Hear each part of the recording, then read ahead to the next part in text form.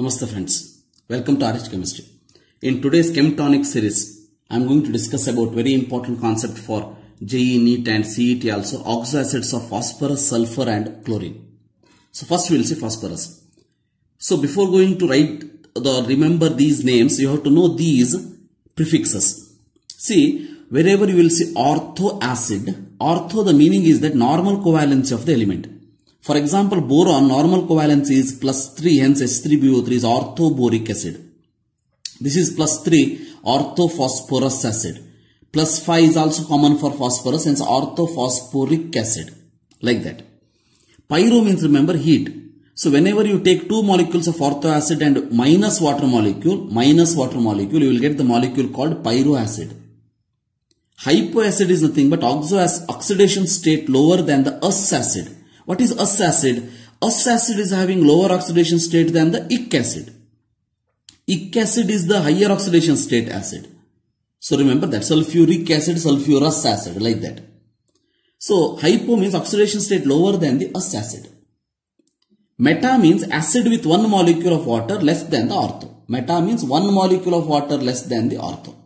See, first I will tell you hypophosphorus acid. See hypo, hypo because oxidation state lower than the acid. This, this is plus 3 and this is plus 1. Lower than this. Hypophosphorus acid is also called as phosphinic acid. Orthophosphorus acid. Ortho, it is a normal covalency plus 3. Phosphonic acid also you can call it as us acid because it is one oxidation state less than the ic. One means two oxygen, one oxygen difference means two oxidation state. So orthophosphoric acid is plus 5 These three basic acid in this case, remember this. Then remember pyrophosphorus acid. See pyro means heating of this phosphorus. ಇಲ್ಲಿ ಮುಂದೆ ಯಾವ್ದು ಹೆಸರಿದೆ ಅದು what ever the name is given in front of that ಫಾಸ್ಫೋರಸ್ this one you have to heat this. When you heat this, remember remove one water molecule. Remaining is actually it is H6P2O6 before heating. Two molecules I will take. Then when you heat, remember you are going to get H4P2O5. One water molecule is removed. Then pyrophosphoric acid. From here to here, if you see the difference, minus H2O. Two molecules of this minus H2O, you are going to get this minus water molecule. So H4P2O7. Then hypophosphoric acid means one oxidation state less than the ic acid I told. Correct? So remember one thing, whenever you do pyro, oxidation state does not change. Oxidation state does not change. So this is, this is also plus 3 and here also phosphorus is in plus 5 oxidation state. And here phosphorus is in plus 4 oxidation state. One oxidation state less than the this, hence it is hypo. Hypo, remember, hypo. So then metaphosphoric acid, meta acid is nothing but acid with one molecule of water less than the ortho. See ortho is H3PO4. Ic is it is. H3PO4 minus water if you do, you will get HPO3. In that polymeric form is possible. So there I have taken cyclic trimetaphosphoric acid. In all these cases what you have to remember is structure very very important. Structure, basicity of the acid and reducing nature. First I will tell you the structure. One thing you remember, all these phosphorus are tetrahedral in nature with the sp3 hybridization at the center. Then, in this case remember, compulsory 1 p double bond O and compulsory 1 POH bond should be present. Remember this point in your mind. 1 p double bond O, 1 POH should be present tetrahedral. Yes. Now very simple. H3PO2 I will write. So tetrahedral, 1 P double bond O and 1 POH compulsory. Then remaining is what? 2 hydrogens, right? PO2 is over, 1 H is over, 2 hydrogen. 2 hydrogen you write here 1 and here 1. Very easy to write. See. And here if you see the structure. So once again, 1 P double bond O and 1 POH is compulsory. Tetrahedral means remaining 2 bonds. Now how many oxygen left? 1 oxygen left, you put for 1. Then two hydrogens left. Definitely one hydrogen is here, one hydrogen is here. Because two hydrogen, you never keep it at one bond. H2 does not exist. Remember, at one bond, because in that case, hydrogen is forming two bonds. So it is not at all possible. So one oxygen here, two hydrogen here. See in this case, orthophosphoric acid. So P double bond O, three bonds present. One P double bond O and one POH compulsory. Then remaining two oxygen and 2 hydrogen. See, very easy to draw. Then pyrophosphorus acid. See, pyro is obtained from this. Correct? On heating this. On heating, what happens is OH from here of this molecule and another beside another molecule is there. Just imagine OH from there. OH, OH, it is removed as water molecule. It is just like this, remember. So if you consider one, the uh, phosphorus acid like this, OH, OH and H and here one P double bond OH, OH, H. So I have written two times orthophosphorus acid. Now H2O is removed from here. H2O is removed from here. So hence what is left? One oxygen is present between two phosphorus. That is like this. Very easy to draw. If you understand this, you can write it very easily. So P double bond O, one oxygen bridge, double bond O, and here it is another OH left, another OH left, and another H is left, and another H is left here. Like this you have to draw. Similarly here. So similarly, one OH, one OH. Only the difference between this and this is that here whatever H is there you add OH. That is the only difference. So pyrophosphoric acid I will write here P double bond O oxygen P double bond O. So OH, OH, OH and OH. Very simple. Correct? Next, hypophosphoric acid. In case of the hypophosphoric acid, remember this oxygen is not there. Direct PP double bond double bond OH, OH, OH, OH. Then trimetaphosphoric acid. So here HPO3 thrice, it is a cyclic trimetaphosphoric acid. So PO bonds are like this, alternatively present. PO bonds are present like this, double bond O, double bond O, double bond O compulsory and one POH is also compulsory. One POH is compulsory. So very easy to draw. Now here very important point what they will ask is, so remember acidic nature and reducing nature. See, what is acidic nature? Wherever you see POH bond that is acidic nature. Basicity of an acid we will call it as. Basicity of an acid we are going to call it as remember. Reducing nature means direct pH bond. pH bond results in reducing nature. So now you can say one POH is there, correct? One POH is there. Hence I can write this as monobasic acid. Monobasic acid. One POH is there. 2H is there. So hence I can write it as a strong reducing agent. Strong reducing agent. And here, and here remember 2OH is there hence it is a dibasic acid and it is reducing agent because one pH bond is there. Reducing agent, ಅಷ್ಟೇ reducing agent. Here orthophosphoric acid you can say 3OH so it is a tribasic acid. Tribasic acid and 3 there is no pH bond hence it is non-reducing. Remember these three, like that you can write it for these also. Here you can see dibasic acid, here you can see 4POH bond, tetrabasic acid, tetrabasic acid. Remember such question they can ask. Then, in this particular case, so monobasic acid and reducing nature we have discussed and a disproportionation reaction, this one you remember. So disproportionation of H3PO2, so plus 1, so plus 5 minus 3 disproportionation means same element undergo both oxidation as well as reduction. H3PO3 plus 3 forming plus 5 forming minus 3.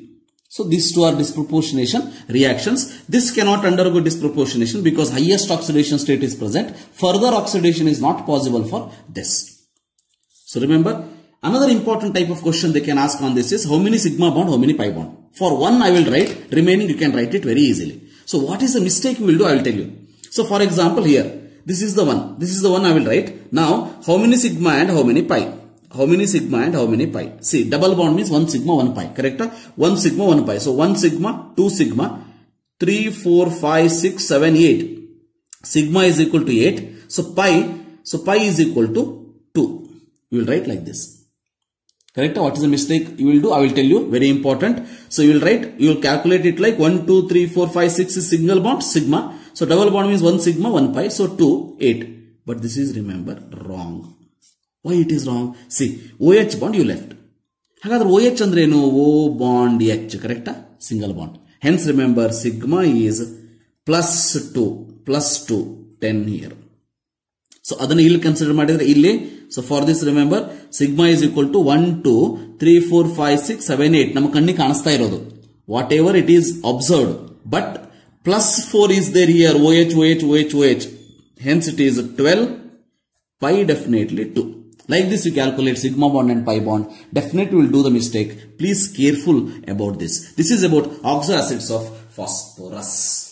Now you'll see oxoacids of sulfur. It's very simple. Only the structures are very important here. Oxoacids of sulfur, remember. First one is sulfurous acid. Remember in all these cases sulfur is sp3 hybridized once again sp3 hybridized. So in this particular case the structures are like this. H2SO3. So when you write H2SO3 structure, remember S one lone pair should be present. Double bond O, OH, OH. So it is tetrahedral, but one lone pair is present. So uh, trigonal planar, uh, this uh, pyramidal structure OH, OH, and double bond O. Now, in this case, H2SO4, we know that S double bond O, double bond O, OH, OH. S2SO5.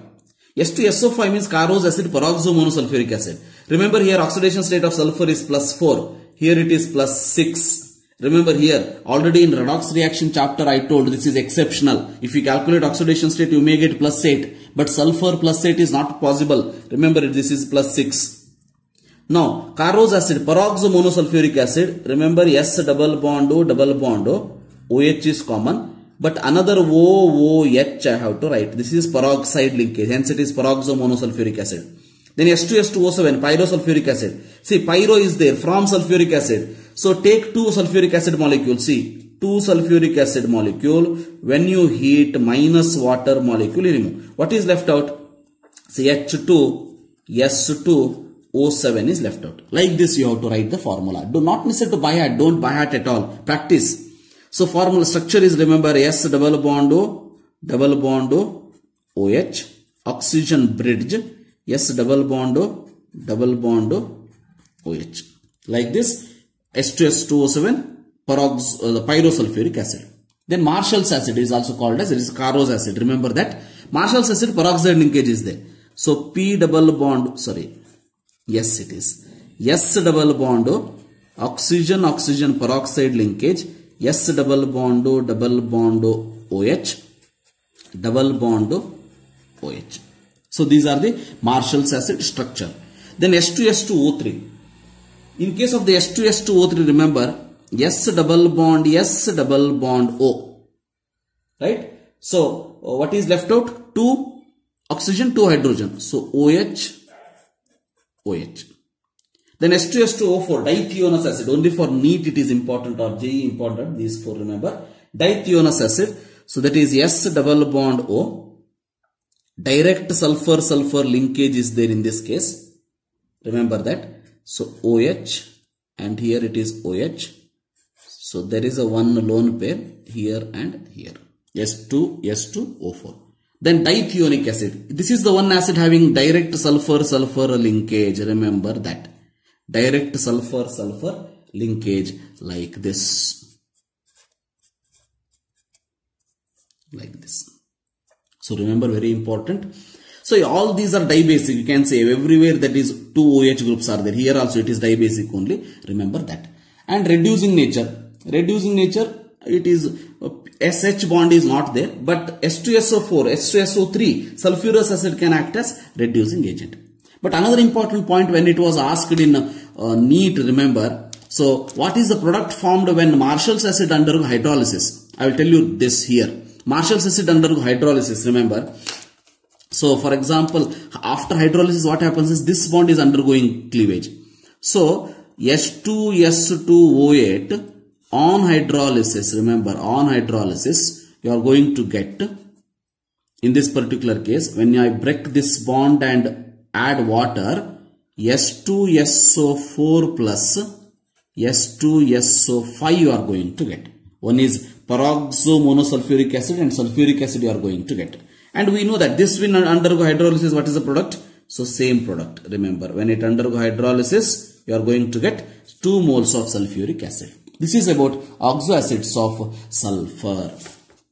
Then lastly, oxoacids of chlorine. Very simple one. So HClO hypochlorous acid, hypo which means see oxidation state plus 1 here, plus 3 here, plus 5 here, plus 7 here.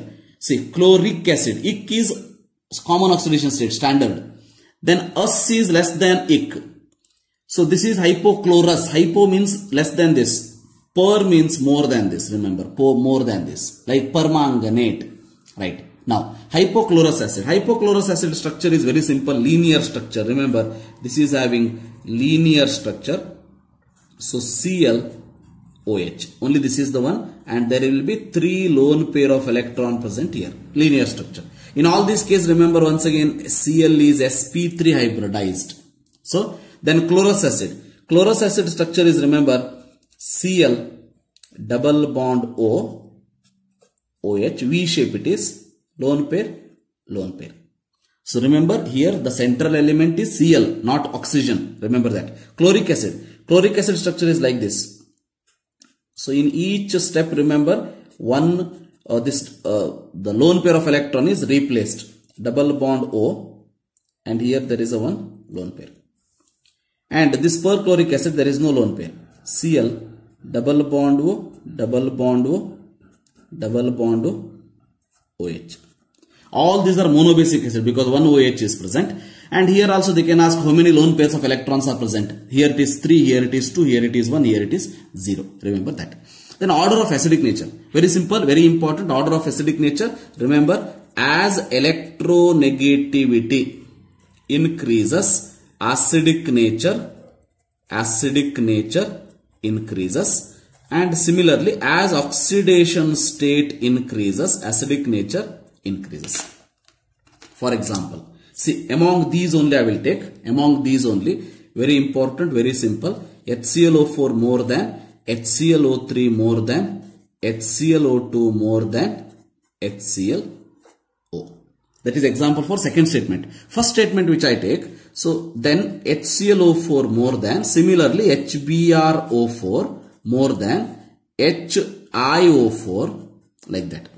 If you take HClO3 also, in any case remember Cl having more acidic nature. HClO3 more than HBrO3 more than H, HiO3, HiO3 like that. This is the same order for thermal stability also remember that thermal stability is more thermally stable HClO4 right. So because of that more thermal stable it is having least acidic oxidizing nature. Oxidizing nature power if I write the order so HClO more than HClO2 more than HClO3 more than HClO4. Remember this. So this is the order HClO, HClO2, HClO3, HClO4. So order of oxidizing nature. Very very important. Order of oxidizing nature is like this. So remember that particular point. Or you could, if you take uh, this HClO3 also. So in this particular case, this is the order for this. But if it is HClO3 like that, if I consider HClO3 because of more electronegativity, HClO3 is good oxidizing nature than HBrO3 than HiO3. Remember. So, if I consider same halogen, then HClO thermally less stable can act as good oxidizing nature. In this case, remember, thermally it may be stable, but because of the electronegativity factor, this is good oxidizing nature than HBrO3 and HiO3. So like that. So this is about oxoacids of chlorine. So these are the oxoacids of chlorine, sulfur and phosphorus. Definitely it is very very helpful for NEET, JEE and CET exam. Thank you for watching. Oh, oh, if you are registered to my channel for the first time, subscribe. Thank you. Have a nice day.